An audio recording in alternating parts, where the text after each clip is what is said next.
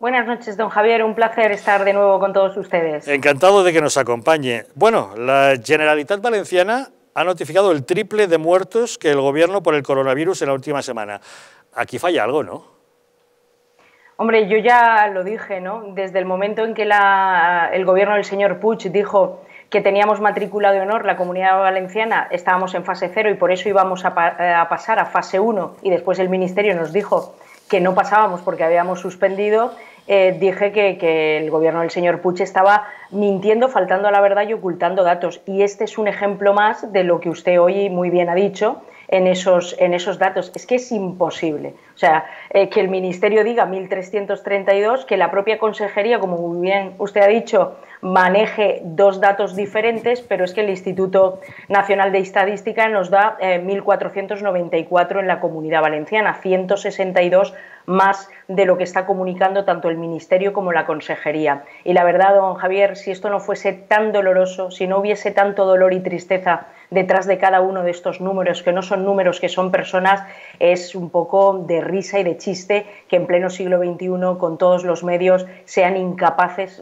el gobierno autonómico valenciano, el señor Puig, tanto que habla y presume de su proyecto de inteligencia artificial, que no den datos claros de, de, las personas fallecidas por COVID o donde hay una alta probabilidad que han fallecido por COVID. Pero viene siendo la regla general la falta de información de luz y taquígrafos y la opacidad. De hecho, ya le comunico que el Partido Popular hemos interpuesto un par de demandas en el Tribunal Superior de Justicia de la Comunidad Valenciana porque nos están denegando algo y violando un derecho fundamental que tenemos los diputados, que es a pedir información y datos sobre el COVID, sobre las adjudicaciones y sobre determinados informes que estamos pidiendo a la Administración valenciana y que no nos lo dan. Pues ya veremos qué pasa, porque como usted sabe, en el gobierno de Aragón la justicia ya ha remetido contra el gobierno de Javier Lambán, el socialista, justamente porque los sanitarios se sentían desasistidos y la justicia ya ha tomado cartas en el asunto. Pero bueno, doña Isabel, eh, ¿dónde está la euforia que mostraba Chino Puig al principio, que quería saltar de fase en fase como quien va de flor en flor? Ahora resulta que parece que se ha asustado, ha optado por la prudencia y dice que prefiere permanecer en la fase 2 hasta el día 14. ¿Temen que mm. haya algún tipo de rebrote? Eh, pues una de dos, usted lo decía, ¿qué pasa aquí? No puede ser que hayamos pasado en cuestión de semanas de que estábamos en la Champions League, que esto íbamos a pasar, porque efectivamente eh, son palabras, utilizo palabras textuales de la señora consejera de, Sanidad, la, socialista Barceló, Ana Barceló, que teníamos matrícula de honor. ¿no? Eh, yo creo que el varapalo fue importante de la fase 2 eh, se pidió, bueno, se iba a decir que se pedía y no, al final se pidió, y yo creo que no estamos ante una cuestión estrictamente sanitaria, sino, si me permite, más bien política. Hay algunas cuitas entre el señor Ábalos, el gobierno de Sánchez y el señor Puig, y el señor Puig ha optado por decir no voy a pedirla, no vaya a ser que me dejen otra vez en la, en la estacada pero al final no se deja la estacada al señor Puig, se está dejando una comunidad de 5 millones de habitantes que necesita que los datos que están eh, facilitando la propia Generalitat Valenciana son buenos y que nadie entiende cómo es posible que no se vaya con todas las medidas sanitarias reactivando la economía que la necesitamos, sobre todo cuando hoy hemos asistido a la última metedura de pata y, eh, creación de, inseguridad del gobierno de España, el señor Sánchez, con el tema del turismo, que si se abrían las fronteras el 22 de junio y, al cabo de una hora, que lo ha dicho la propia ministra, ¿eh? al cabo de una hora da la sensación que ni se leen los papeles, ni saben por dónde van, o sea que no es solamente Chimo Puig, parece ser que en el socialismo español y valenciano hay una cierta nebulosa de inseguridad, incerteza total y absoluta y de improvisación, que es lo que ha demostrado este gobierno. Por lo tanto, una semana más estaremos en segunda fase y no se sabe muy bien, porque aquí siguen sin dar explicaciones absolutamente de nada. Pero parece ser que teníamos buenas noticias. Tengo entendido que hoy mismo se ha sabido que los análisis hechos en las aguas residuales venían a demostrar algo así como que la comunidad valenciana estaba casi completamente libre de coronavirus.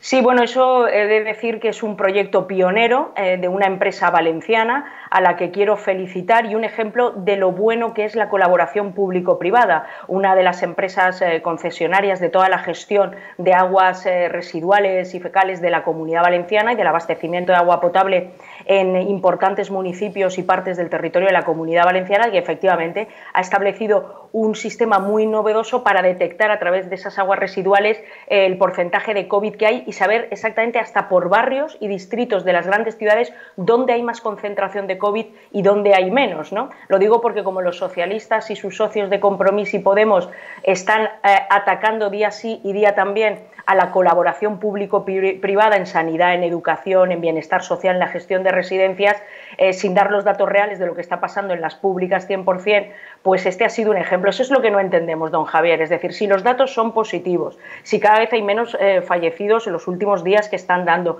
menos contagios, hay datos objetivos de empresas que nos dan, ¿por qué no se solicita el pase? Pero ya le decía hace dos semanas cuando intervine que, por ejemplo, la Ribera, una de las comarcas más importantes de, la provincia de Valencia, la consellera dijo literalmente que iba a pasar a solicitar el pase a la fase 1 con una serie de restricciones porque había una grave situación sanitaria. En 24 horas desapareció esa grave situación de riesgo sanitario.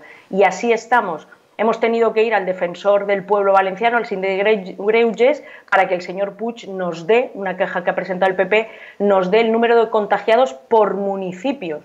No sabíamos, se publicaron la semana pasada, el gobierno del señor Puig pese a haberse comprometido públicamente que lo iba a hacer público, como, está, como pasa en Navarra, como pasa en, Murcia, en Andalucía, donde se tienen esos datos gracias a una queja, una denuncia del Partido, del partido Popular. ¿no? Y así estamos ocultando información y ahora que habla tanto el señor Puig y habla del oasis valenciano y de desterrar la crispación, quiero aprovechar para decirle al señor Puig que su actitud de ocultación, de falta de verdad y de no dar toda la información, ya no a la oposición, sino a los valencianos, también es una forma de crispación, ¿no?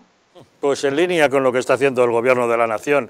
Vamos, Así es. Pero vamos, ya recordará usted que el propio Chimo Puig reconoció públicamente que el tsunami del coronavirus les había desbordado y por eso ahora no hace más que prometer que eso no volverá a pasar, que va a construir esas tres grandes naves gigantescas, una por provincias, para acumular material sanitario de todo tipo y que nunca más vuelvan a faltar suministros.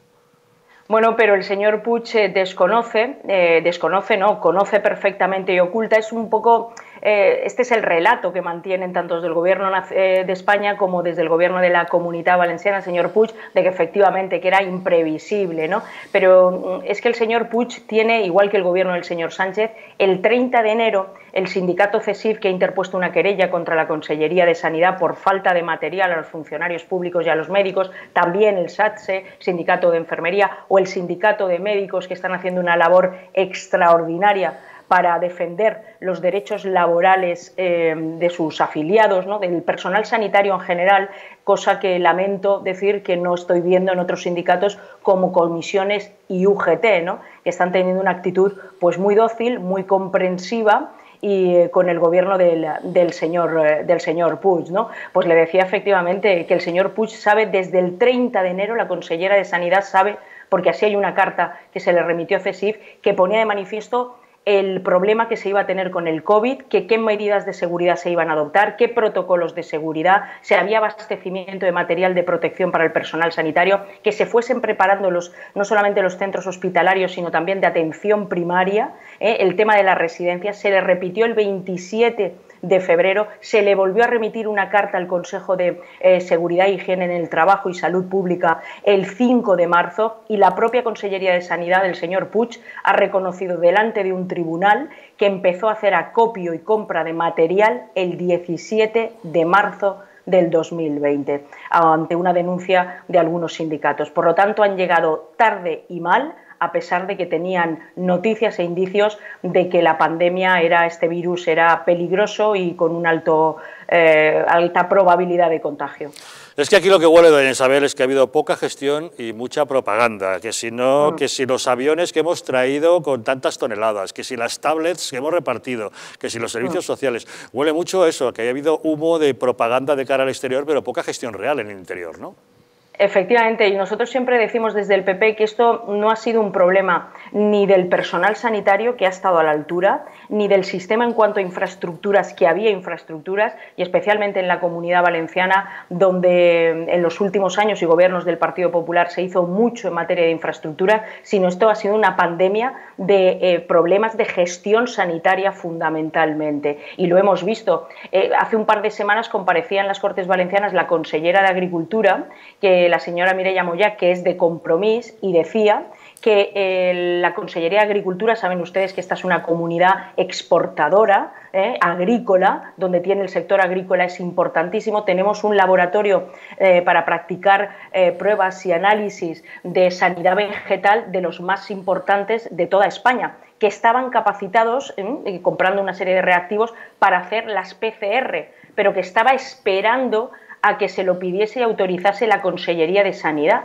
Y una piensa, pero si son el mismo gobierno, es que no se hablan, pues efectivamente, no se hablan. Compromís el Partido Socialista y Unidas Podemos no se hablan porque no puedo entender que dos personas que se sientan en la misma mesa del Consejo de Ministros no se pongan desde el primer momento y deberíamos haber estado haciendo test, las PCR, pues desde el primer momento. No, y eso le digo que ha sido hace 15 días que compareció la consellera, que estaban preparados y que cuando lo autorizase la Consejería de Sanidad ellos se podrían hacer test. Dije, bueno, pues a lo mejor algún día cuando acabe la pandemia pondrán, podrán hacer estos test. Pues quién sabe, a lo mejor algún día. Pero bueno, como empezábamos esta conversación, ya sabes, si hasta tres organismos oficiales del mismo gobierno da tres cifras diferentes de muertos, ¿qué no van a hacer eh, pues Compromís y el PSOE en el mismo gobierno?